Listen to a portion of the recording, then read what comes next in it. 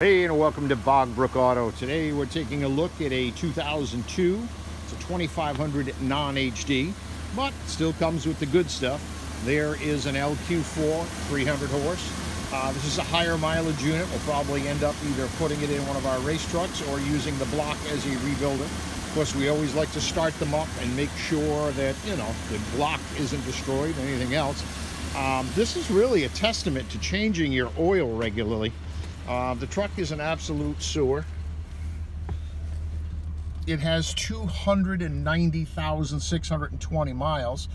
Uh, and look at the oil pressure. We are just about there as far as fully warmed up.